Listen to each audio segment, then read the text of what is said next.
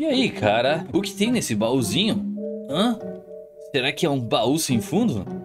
Que parada é essa, velho? Hã? O que, que é isso aqui? Box of Eternal Closure. Eu tô com medo de abrir isso aqui, na moral. Eu vou, eu vou abrir em outro lugar. Isso aqui é de abrir, né? Parece que sim. Calma aí, calma aí. Ah, ah. É... Parece que tem uma fumaça me seguindo. Ela, quer, ela me quer. E ela me quer me dar dano. Me deu dano. E era isso? O que será que aconteceu, velho? Será que eu fui possuído? Será que essa aqui era a caixa de Pandora e eu não devia ter aberto? Eu não sei, eu não mexi ainda com esse mod aqui. O Evilcraft. Mas tem umas coisas meio medonhas, meio mal assombrada aí, uns negócios assim. E... Gurizada, aqui é o Henrique sejam todos bem-vindos ao ATM8. É, rapaziada, estamos automatizando a nossa base o melhor possível para poder chegar até as estrelas. A ATM Star. Mas, sinceramente, pra mim, esse modpack é mais que chegar até a ATM Star. É um modpack onde eu quero aprender o máximo possível de todos os mods que estão aqui. Afinal, ATM tem muito mod, velho. É o melhor lugar pra você aprender. É assistindo as séries, indo vendo como é que a gente vai fazendo as coisas automáticas, aprendendo os mods técnicos, aprendendo os outros mods também, magia, interação, tudo, velho. A gente vai abordar a parada toda. E esse carinha aqui veio porque eu abri, eu acho que 100 baús de loot, e aí veio meio como, como se fosse um troféu. Eu gostei pra caramba, velho. E, ó, a gente pegou várias das pedrinhas aqui do Apoteoses, que eu tô guardando pra quando a gente for mexer, a gente escolher as melhores pra poder botar nos nossos equipamentos. Tem umas aqui muito loucas, ó. Até laranjinha o negócio é. Boas, boazuda. E aqui ficou alguns itens também. E aqui tem as caixas que a gente guardou dos nossos spawners. Eu também peguei esses Miniature Head Heart aqui. Que se a gente olhar, a gente consegue craftar umas paradinhas doidas. E eu quero ver se isso aí tem algum efeito ou não. Pelo menos a primeira paradinha doida eu consigo. Deixa eu ver aqui, deixa eu ver aqui. É um Balble, né, que vai na, no pescoço. Aqui. Olha, Hurt amuleto da, do coração. Right click to open. Pera aí, pra me abrir, o que, que tem no meu coração? Ué, tem nada no meu coração, mano. Meu coração tá vazio. Opa! Ah, pelo que eu entendi, a gente consegue colocar coisas dentro ali do amuleto e aí a gente consegue botar esse cara aqui. Será que ele aumenta o meu HP? Parece, né? Parece que sim. Só que ele precisa de um Witherbone, que é a única coisa que eu não consigo craftar. Essas outras duas coisas que eu crafto tranquilinho. Witherbone a gente consegue pegar matando o Wither Skeleton, provavelmente. Hum... É, se eu tivesse já looting, eu iria caçar isso aí. Mas eu acho que eu vou deixar isso aí pra outra hora. Entretanto, a gente conseguiu um desse. Essence of Undeath. Esse aqui é muito bom pra gente fazer uma lápide e deixar num cantinho. Quando a gente morrer, a gente pode teleportar pra onde a gente morreu. Isso vai ajudar pacas. Vamos lá então, eu sei que o pozinho azul a gente já tem bastante, que é o necessário pra fazer a mármore. Qual sepultura é mais legal? Acho que essa aqui, mano. Beleza, vamos fazer a mármorezinha aqui. Fazer já 7, que é o que deu pra fazer. Não tinha muito mesmo. Ah, não tinha muito do pó, né? Mas o resto eu tinha. Mas tudo bem, já deu o suficiente. Simbora. Temos aqui a nossa lápide agora. Opa, upei? Tô com Knowledge of Death.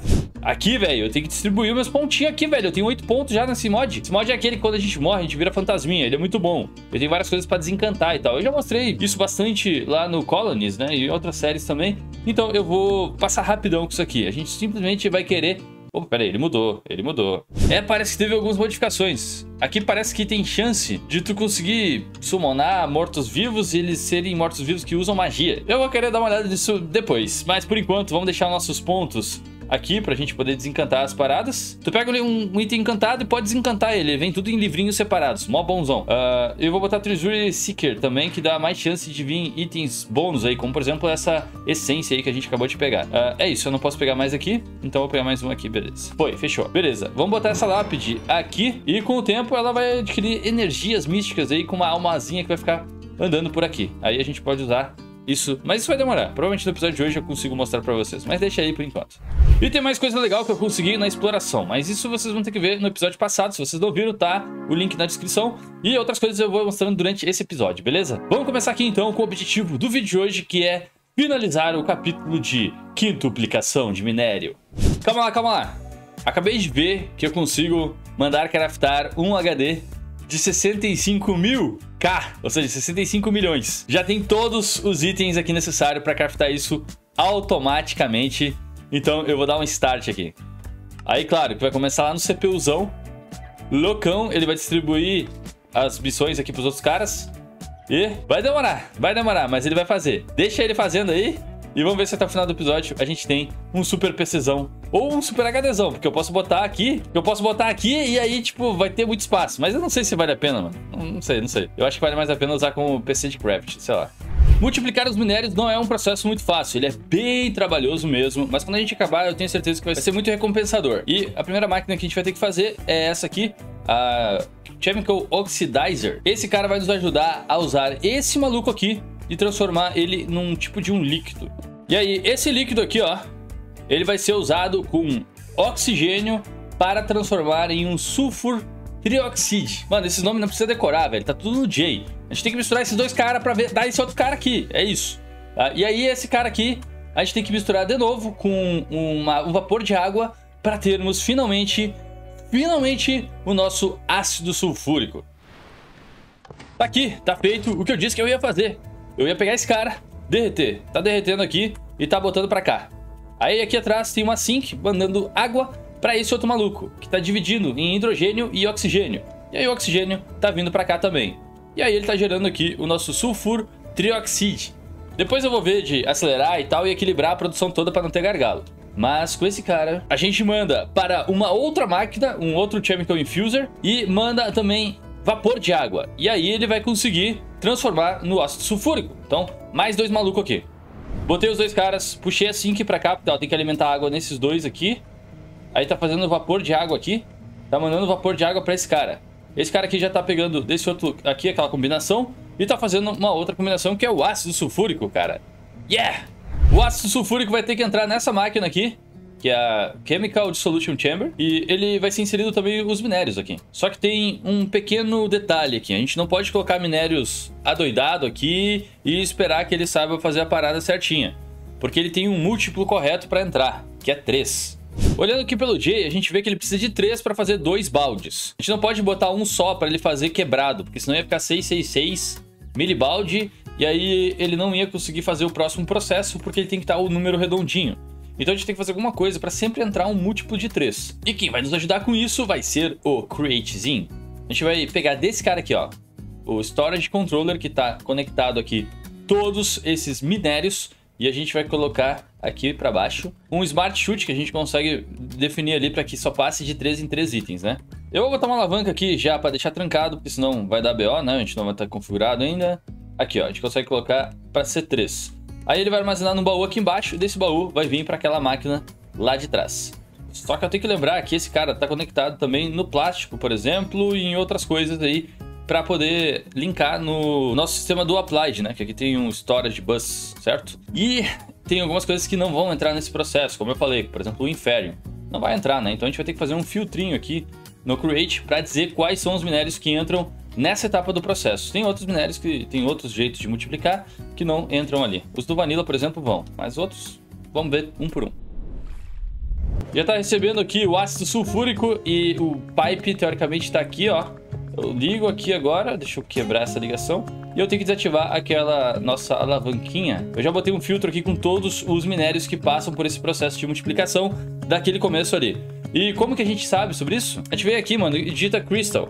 E você vê que os cristais dos minérios todos estão aqui em cima. Ó. E aí eu só peguei essa lista toda de minérios e adicionei no filtrinho ali do Create. Agora, aí, chegou, tá? Ele vai chegar de 4 em 4 aqui porque é a frequência que o pipe manda, né? Mas lá eu sei que o múltiplo é de 3, no total aqui vai chegar um múltiplo de 3. Temos aqui, por exemplo, o urânio que já está sendo derretido e ele está virando um urânio sujo, slurry. A gente tem que fazer alguma coisa com isso para dar uma purificada. Aí tá, ele mandou o líquido que estava aqui, para essa outra máquina está sem energia ainda. Se a gente conectar a energia, ela vai dar uma purificada. Afinal, ela é uma chemical washer. Ela dá uma limpada no negócio. Só que ela precisa de água. Afinal, você lava as coisas com água, não é verdade? Faz sentido? Ó, tá fazendo aqui, ó. Bem devagar. Ih, rapaz, bem devagar mesmo.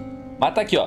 Tá um Clean Uranium Slurry. Antes era Dirt, que era sujo. Agora tá o Clean. Ok. O que a gente vai fazer com esse cara? A gente vai botar agora um negócio para transformar em cristal. Que era esses cristais que eu tava falando aqui, ó tá? que é o uh, Chemical Crystallizer. O inglês deve estar tá matando gente no chat. É, tudo bem. Vamos ligar ele na energia aqui e ele tá agora fazendo o processo dele pro cristal. Esse cristal aqui a gente vai botar em uma outra máquina que vai transformar ele em um shard. Essa máquina ela tem que ser abastecida por um, um hidrogênio chloride. E esse cara é um pouco difícil de fazer. A gente vai precisar de hidrogênio, que a gente sabe fazer, separando na água lá, bem facinho Mas a gente também vai precisar de clorine. Chlorine é feito a partir de brine. Da Rick, calma, da Rick. O que, que é brine? O que, que é brine? Brine é o que aquela torre faz. A gente vai ter que fazer uma outra torre daquelas. E aí misturar com a parte ali do hidrogênio. E aí vai fazer aquele outro gás ou líquido. Eu não sei mais, velho. Mais uma torrezinha aqui, ó. Prontinha, rapaz. A gente só precisa botar agora pra mandar pra maquininha aqui do lado. Então, deixa eu ver aqui. Show. Ela já deve estar operando e dividindo, ó. A gente precisa desse aqui, ó. Chlorine que no caso é o ciano. Então, cara, eu tô fazendo muito isso. Eu tô pegando aqui os outputs e mexendo aqui, né, qual que é qual e tal. mas nesse caso aqui já tá prontinho. É só eu botar aqui para esse aqui aceitar pelo lado esquerdo aqui, então... Aí, ó, tá recebendo. E aí ele recebeu o, o clorine, ele tá fazendo o hidrogênio cloride, que precisa ser posto para esse cara aqui. Então, esse cara tem que ejetar para lá. Que coisa linda, rapaz. Deixa eu tirar aqui esse sódio que a gente não vai usar. Botou aqui, tá fazendo, velho, tá passando pra cá. E, mano, tá aqui, ó, urânio shard, mano. Agora o processo fica fácil, galera. Eu sei, eu sei. Olha o que a gente fez hoje. Olha esse monstrinho, mano. O, olha esse monstrinho. Fora aquele outro monstrinho. Fora esse outro monstrinho pra gerar pedra. Mano, a gente tá chegando perto do objetivo final, velho. Tá chegando o shard. Aqui, ó. Tá aqui. Vou botar energia nessa outra máquina. Ela pega o shard que vem daqui, né? Passa pra cá, ó. E transforma num urânio clamp. É, Urânio Clamp. E esse cara vai ter que ser usado agora numa Crusher para virar finalmente um pó. Só lembrando que esse cara tá usando oxigênio. Então, eu tinha uma máquina aqui que fazia oxigênio e hidrogênio. Ela tava aqui, ó. Aí eu peguei e movi para cá, porque o hidrogênio é usado para essa aqui e aqui é usado oxigênio. Então, ela tá dando pros lados ali e tal e suprindo outras duas máquinas. Então ficou perfeitinho. E o que a gente faz com o pó, Dan Henrique? Cara, estamos chegando, chegando no final, eu juro, eu juro. A gente tem que colocar numa Enrichment Chamber pra virar um Urânio Dust normal. Esse Urânio Dust a gente consegue martelando as barrinhas e tudo mais. Já virou basicamente uma barra. Só que aí depois a gente vai ter que derreter esse Dust. E GG. Aí, coloquei. Temos finalmente nosso primeiro, primeiro material uh, multiplicado aqui, ó. Tá saindo, galera. Tá saindo. É claro, eu ensinei a fazer a máquina do meu jeito aqui. Eu, foi a primeira vez que eu fiz essa máquina. Eu espero que vocês tenham entendido mais ou menos como eu organizei. Eu usei o próprio output e input das máquinas todas para me ajudar. Eu achei que ia ficar melhor e realmente ficou muito melhor do que usar o XNet ou qualquer sistema de cabo. Já tá muito melhor aqui, mano, mas a gente tem que colocar os upgrades de velocidade, de energia, de também tier, né? Tem várias máquinas aqui que aceitam. E aí fazer uma produção bem mais rápida. Coloquei upgrade card em tudo que eu podia. Deixei no roxinho esses aqui. Embora eu acho que nem vai precisar, porque essa máquina gera de um em um. E aí vai entrar aqui para fazer de um em um. Mas eu deixei já para caso a gente queira fazer um upgrade no futuro, já estar aqui. Ou então inserir alguma coisa direto de lá em uma dessas máquinas também é possível. Então, legal. Uh, eu vou botar aqui três ferrinhos na máquina inicialzinha, que é essa aqui. E vamos ver quanto que vai sair lá no sistema. Vamos acompanhar o caminho do ferro. Então vamos lá. Botei aqui nossa, velho, foi rápido. Ele já veio pra cá. Não, que isso? Já foi pra cá. Que tá rápido o negócio. Tá fazendo ali os cristais. Os cristais estão passando pra cá. Estão virando o shard. O shard tá virando o clump. O clump tá virando o dirt. O dirt tá virando o, o pó, que nem aparece tão rápido. E... Tá aí, 10. Não, tem alguma coisa errada. Olha, olha bem pra minha cara, cara. galera. Eu, eu quase chorei agora aqui na live. Eu quase chorei, velho. Porque eu achei que ia sair 15. Só que não. Ele, ele saiu, botou 13 e saiu 10. É, é tipo 3.3 a multiplicação, não 5. Eu fui dilubriado, velho. Eu acho que ele consegue quintuplicar se a gente colocar esse cara aqui. O Iron Ore Ore mesmo, sabe? Só que, na verdade, eu não fiz errado. Eu, eu, eu não fiz errado. Porque se for pensar, esse cara aqui a gente consegue multiplicar com a fortuna, certo? E nesse modpack a gente consegue colocar fortuna até o nível 7 ou 8 por causa do apoteose. E a gente pode daí multiplicar muito mais que esse cara, né? Então imagina só, fortuna 8 quebrando esse maluco vai dar muito desse outro maluco. E aí vai dar muito mais desse outro maluco aqui no final. Tá, então, é, igual eu tô chateado, mas tudo bem, vai. Tudo bem. Tá bom, tá bom. Vamos deixar nossas mágoas pra lá. Vamos, vamos deixar. A gente, eu gostei demais que isso aqui foi muito rápido. A gente nem conseguiu acompanhar o ferro sendo processado. Eu posso ligar ali e deixar processando, só que é óbvio, vai lotar isso aqui aí vai ficar uma lambança só. A gente vai começar a mexer então agora com os drawers, mas os compacting drawers. Cara, esse maluco trollou, velho. Ele trollou, compacting drawer. Era pra botar aqui a barra e ele ter a pepita já disponível. Só que ele tá, tipo, pegando ali no outro e aqui também. E em vez de estar a pepita, ele botou um compactado ali, ó. Será que eu consigo trocar essa parada de algum jeito? Ó, botei aqui o storage controller, né?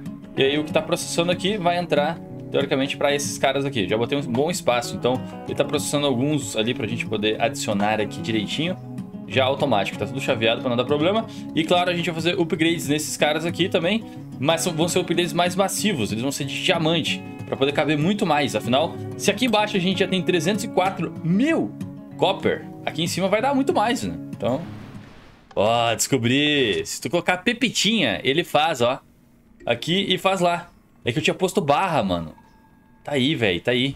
Mexendo aqui, a gente descobriu um gargalo ferrado, que é esse aqui. É aqui que gera a multiplicação. Ele recebe um líquido e depois ele cristaliza e gera o cristalzinho que vem pra cá. Essa parte está extremamente rápido. Eu tinha mostrado até pra vocês. E essa parte tá voando, velho. Agora, quando chega aqui, mano, meu Deus, aqui é o gargalo do gargalo. Ele tá cinco vezes mais lento do que essa parte da máquina aqui. E aqui tá nove vezes mais lento que essa parte daqui. Só pra vocês terem uma ideia. Então eu tentei botar cinco máquinas aqui, porque essa aqui dá conta de cinco máquinas. Só que o problema é que como chega líquido aqui, a gente tenta passar pelos canos, os milibaldes não dão certo aqui para fechar o cristal. E aí fica um restinho de milibalde aqui, e aí não vai dar para aceitar um novo mineral ali, porque tem um pouco do mineral antigo. E aí vai dar BO, entendeu? Então, foi pensada uma solução. Na verdade foram pensadas várias soluções, mas sempre deu errado. A gente tentou todos os pipes, a gente tentou várias paradas. Nada, nada deu certo. Mas, e se a gente multiplicar o cara que faz o líquido? E aí colocar um do lado do outro aqui. Hum, vai ter que multiplicar isso aqui também? É, vai. Ih, rapaz. Será que vai dar? Vamos ver. Adaptei aqui o nosso monstrinho, rapaz. Fizemos aqui ficar quatro vezes mais rápido do que estava antes, com uma mudança no layout. Esse cara é o que recebe os itens, lá dos drawers. E ele recebe, mistura no ácido sulfúrico, e ele vira aqueles outros líquidos, o sujo e depois o limpo, né? O sujo passa para cá, para ele virar o limpo. O limpo passa para esses aqui, ó. E ele vira, vira, aquele primeiro composto físico mesmo, não é mais líquido. E para isso aqui funcionar, a gente teve que fazer um pequeno ajuste. A gente colocou aqui agora para passar de 6 em 6. Porque cada um desses aqui vai receber 2 mil. Esse tem que receber 2 mil, esse 2 mil, milibaldes. E daí cada um desses caras aqui tem que receber mil, correto? Então, esse aqui recebe 4 mil no total, porque são 6. E ele divide 2 para cá e esse cara divide mil pra cá. E esse aqui faz a mesma coisa. Enfim, vocês essa cara, né? E aí acabou ficando quatro vezes mais rápido, cara. Ficou muito melhor a produção. E agora, então, eu posso ligar aqui e deixar essa parte escorrendo tudo. Sim, posso. Tá aí, rapaz. Tá puxando. Às vezes parece que tá com um número errado aqui, mas é porque o pipe puxa numa frequência de 4 em 4 itens, né? Cada segundo. Mas isso é rápido o suficiente pra esse cara aqui. Ó. Tá? E aqui eu botei os outros drawers todos que vão acumular já os itens processados né? Aqui estão os não processados, aqui estão os processados. Botei upgrade de diamante em todos, 3 em cada. E pasmem, mano, cabe 7.1 milhões de blocos de, do item, né? Cabe ali quanta pepita? Mano, nem dá pra ver, mano. 573 milhões. É muito item, é muito item. Então, já deixei aqui no grau. Esses aqui são os itens básicos, né? Que eu já tava botando pra testar. Eu já botei também o diamante pra vir pra cá, a redstone, o lápis e o carvão. Eu puxei eles desse drawer aqui para aquele cabo e conectei aqui nesse outro drawer controller. Afinal, esse controller está controlando aqueles de cima e esse está controlando os de baixo. Então não tem por que eu armazenar diamante aqui, ó. Não tem porquê. É melhor que fique aqui, porque daí quando precisar de bloco, já puxa no craft automático lá no Applied. A redstone é a mesma coisa e o lápis também. Então ficou muito melhor, cara. Gostei demais desse sisteminha aqui. E agora isso aí vai ficar operando durante muito tempo. Mas vai ser por bem, vai ser por bem. Cara, é muita máquina operando. Sim, eu dei uma diminuída no som, inclusive de todas as máquinas. Botei dois mufflers em cada. Tem algumas que ainda são bem altas, depois eu vou ver se eu baixo um pouco mais. Mas por enquanto eu vou deixar assim, porque tirar o som totalmente eu acho meio zoado. Porque, sei lá, é ambientação, mano. É tuas máquinas funcionando, tem que estar tá funcionando. Temos um problema. Os nossos geradores de energia não estão tancando. Não tá tancando, velho. Tá, tá gastando mais de 170 K de FE por tique, essas maquininhas que eu fiz aqui. Com certeza essas aqui puxaram muita energia, estão puxando muita energia, mas é o custo da eficiência, cara, é o custo da eficiência. Vou fazer o quê, né? Bom, a gente vai ter que pensar em algum jeito aí de melhorar isso aí. Mas eu vou deixar isso aí para um próximo episódio. Então se vocês estão gostando do ATM8, se inscreve no canal e bora acompanhar para ver onde essa série vai chegar. É isso aí, um abraço, fui!